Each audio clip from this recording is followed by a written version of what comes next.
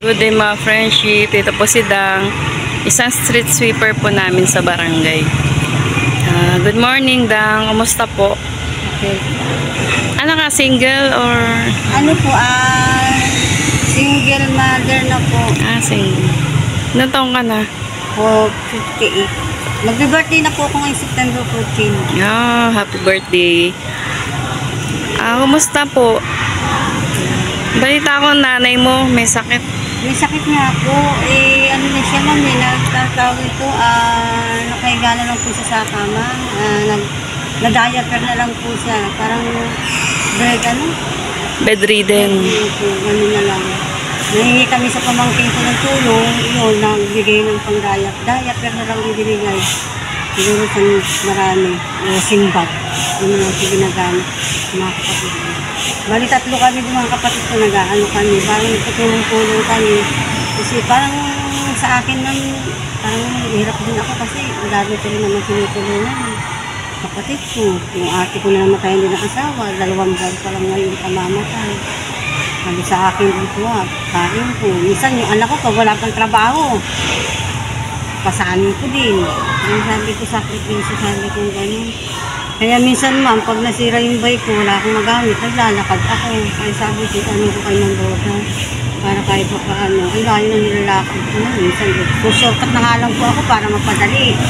Sabi ko, eh, sabi ko, lalakad ko kayo ng boda para makaano ako kahit sa single bike lang. Para malaking tulong na rin sa akin.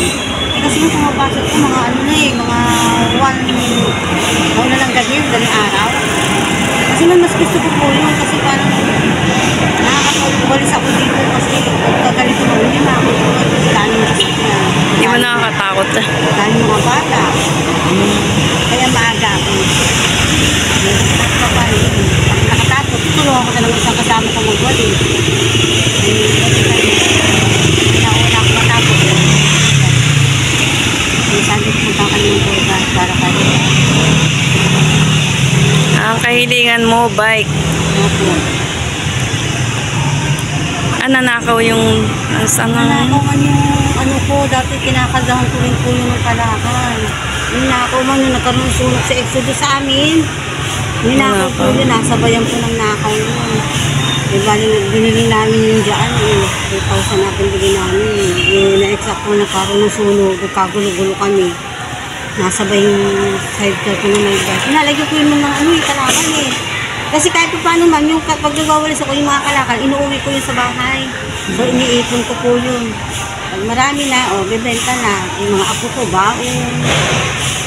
Baon ng mga apo ko. Ilan yung baon ng apo ko? Dalawa. Tapos yung pamangkin kong grade 5. Akin din po yun, ma'am. Kahit wala akong pera, eh, pasok kayo. Sabi ko, wala tayong gagawa. Sabi ko, ganun talaga. Iniwanan ako ng asawa ko na ano eh.